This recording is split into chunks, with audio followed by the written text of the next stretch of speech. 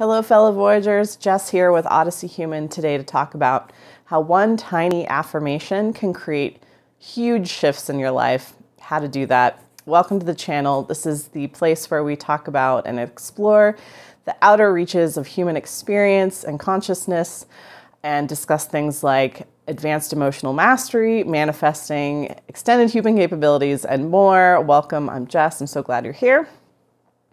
And today I want to talk about affirmations. This is a topic I haven't dived too deeply in on my channel yet, but I was reflecting on it and kind of wanted to share my experience with it, how we leverage affirmations, really how they work, and then share a story of how I created essentially my dream job using one tiny little affirmation. So let's kind of give an overview of affirmations. When I say affirmations, I'm saying we use them in manifestation, in reality creation, essentially to declare some truth about ourselves. And um, so when we're saying it, right, we use language to create meaning, and then meaning creates tr- truth, right? When something means something to us, we've created some little equation. I like to call them these truth equations, where X means Y, so that means Z. so this is just how our brain works. This is what we do with language. And so by intentionally using language, knowing that, um, we can create affirmations that then um, we declare as truth. We create, we, we back, work backwards and create a truth using an affirmation and then watch it kind of um, come into our, watch our reality shape around that uh, affirmation, around that truth. And the potency of an affirmation is really directly proportional to its believability.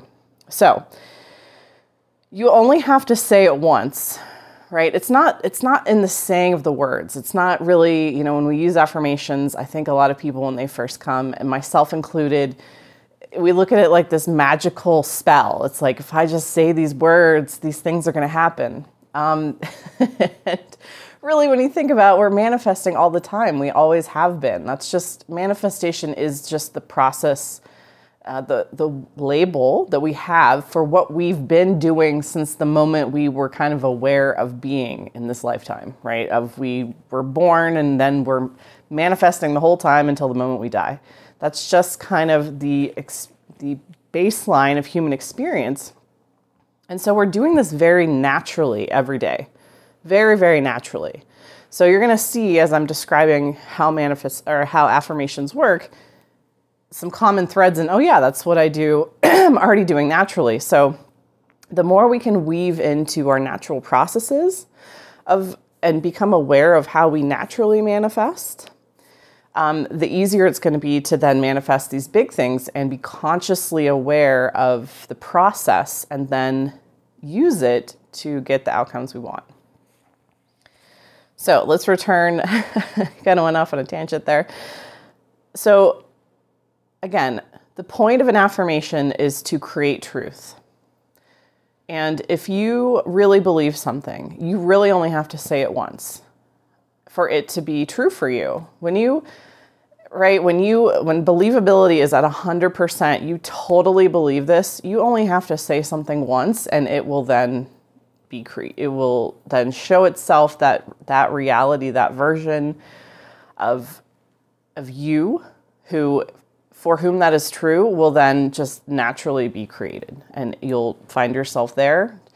This is kind of like when people are like i always knew i was going to be the president of the united states or you know this isn't something that they're saying over and over and over again but we're going to talk about that in a second so if believability is low, if when you say your affirmation, right, you're trying to declare a truth about yourself, you know you're in the sweet spot. If you say it once and it packs that full punch, that's really all you have to, that's it. It's already done. When you have have that level of believability of this is 100% totally true for me, you don't have to repeat it over and over.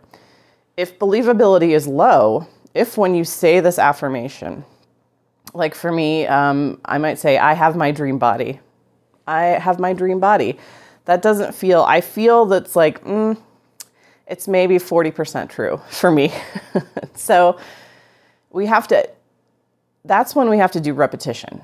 And it's okay. It is okay if right now, when you say your affirmation or the thing that you want to be true for you, if it doesn't feel 100% real, if it doesn't feel 100% true, that's okay. That's also where in this commu- in the manifesting community, a lot of coaches will say just keep repeating it, keep repeating it. Because repetition is one of the ways that we increase believability. If we keep repeating something, right, we're, we're actually creating neural pathways. We're wiring neurons together so that it becomes more natural. And then when it becomes natural, it becomes our truth.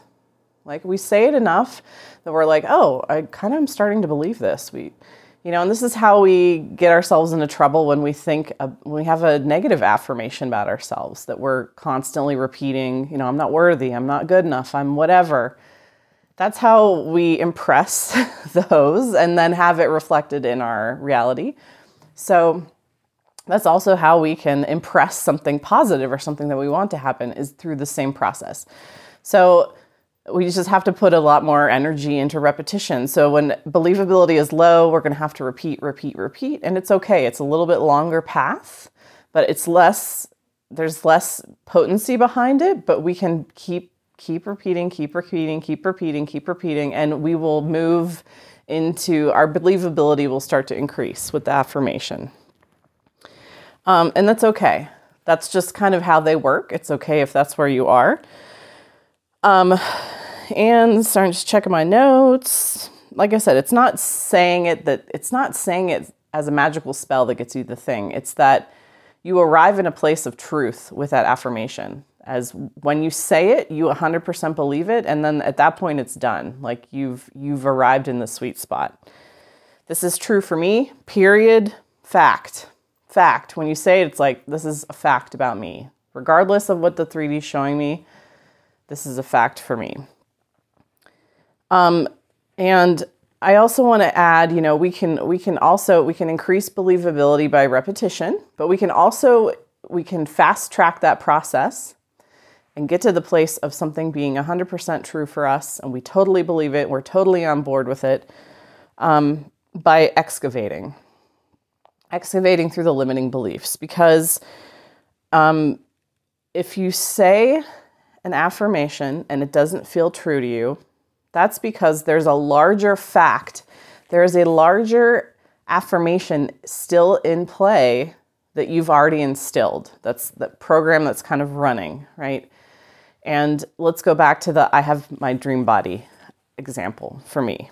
And so knowing that is the first thing, and then digging into it, excavate that.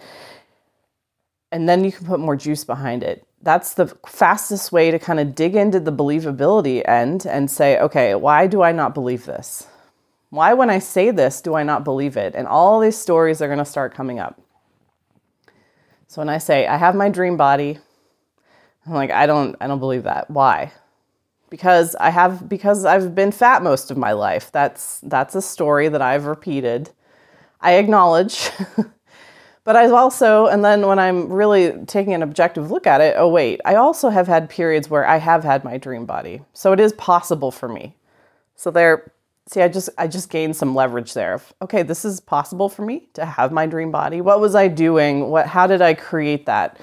Well, once I had an eating disorder, you know, I don't want to do that again. Uh, the other time I was lifting weights and working out all the time. Okay, you know, I could potentially do that, but I, I am capable of creating my dream body.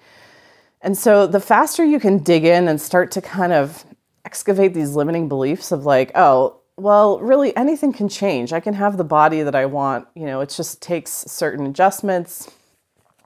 And it's possible for me to have kind of any style body I want, any type of body I want. I can adjust these things. Um, and you dig into that, and then you can quickly, quickly increase your believability by doing that process. You know, really get clear. And remember, while you're doing this, there could be a bigger belief in play of just not believing in manifestation, of just not believing that everything you're experiencing is really a flavor of you. Everything you're experiencing is created within your consciousness. You know, it's this kind of um, holographic experience that your your awareness is having, and, and because of that, everything is really equal, right? If it's all a hologram, then the meanings of certain things, you know, the realness of certain things kind of drifts away. So that might be one of the bigger beliefs in play that you can look for. You know, one of the things that is sometimes hard to get past is like, you know, things that we've been taught or learned, like I can't change my eye color or I can't, you know, there's a bigger belief there in play that you're trying to move past and it's like, well, maybe I can. If I'm if I'm just this is an experience in a hologram and my thoughts and feelings are really what is creating my reality, then I get to really declare whatever truth I want. You know, miracles do happen, amazing things do happen, and why can't it happen for me? Why can't it happen in this circumstance? So dig into that. And look for those bigger beliefs that are in play and ask yourself, why don't I believe this? You know, what other stories are already active that are kind of overriding my attempt at this new story, at this new truth? Why does my phone always do that? um, so, I want to share with you quickly how I used one affirmation to manifest my dream job. And that one affirmation is this job is already mine. The job is already mine. And when I found the job, a, a, series of synchronistic events, uh, I was gently toying with, oh, maybe I should get a full time job. I already had a part time job, so I wasn't. It wasn't this huge need, like urgent need for me a series of synchronistic events kind of led me to a job posting. I intuitively was like, oh, this is really perfect for me. And I, I, started, I recognized in that moment because I had been kind of led to this posting, because I wasn't fully expecting to get a job so quickly, that, oh, there's something in this. There's, and that I used that thought of, for me, I have meaning equations of, you know, when things happen very synchronistically, that means that it's meant to be that's my my bigger belief that was I was I could anchor to.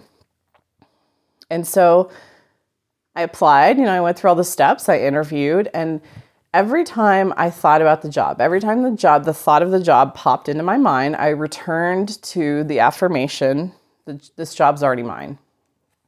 And when I said that, it felt 100% true to me. Because I had that bigger belief in place of this was meant to be. This was already meant to be. I was led to this. The, the series of events that led up to this were totally crazy. It involved like me, find, you know, intuiting to go to a Craigslist. One day I was just like, I should go to Craigslist. And then I found this research study. And then I participated in the research study. And then the research study led to finding the job posting and then the job posting. So that series of events, I was like, this was just too random. You know, the pathway was too magical, and I believed that this was meant to be. So I kept returning to the job is mine every time I thought about the job.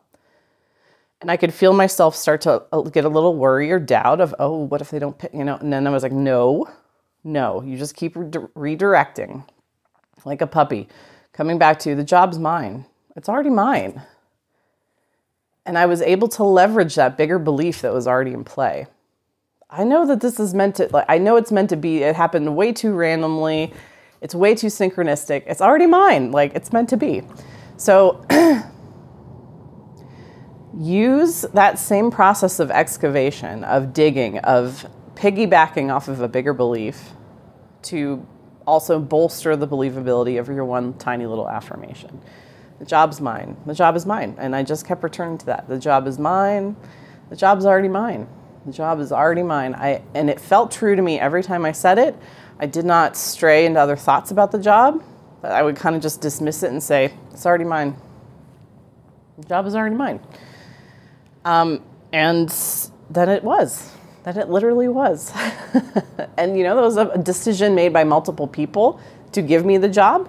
So that was me then, you know, even if there's other people involved in it, know that it's really everything is you. Everything you're experiencing is you, and everything you're creating is you.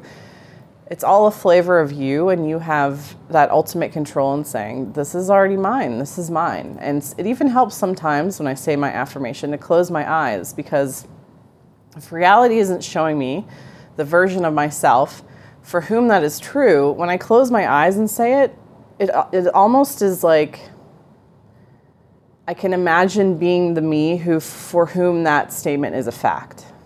You know, and I did that when I said the job is mine. I closed my eyes. I was like, the job is mine, and I envisioned myself at the job. It was very light, though, very light touch. So, let me know what you thought. Drop a comment below. Hope this was helpful to you so that you know how to leverage affirmations, how to use them most potently, how to get what you want quickly. And thanks for watching. Have a great day.